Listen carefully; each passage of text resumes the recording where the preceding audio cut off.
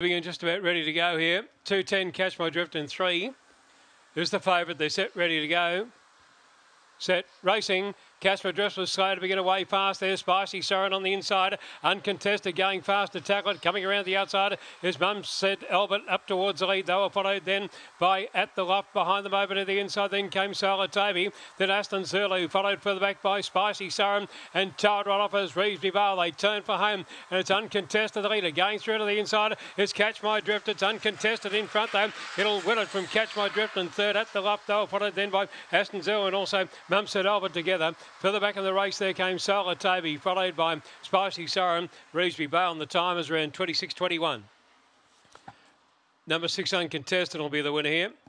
Six uncontested, the winner around the uh, 460 marker thereabouts. So race eight on the card. 26.209 the time, 26.209. 672, 1155.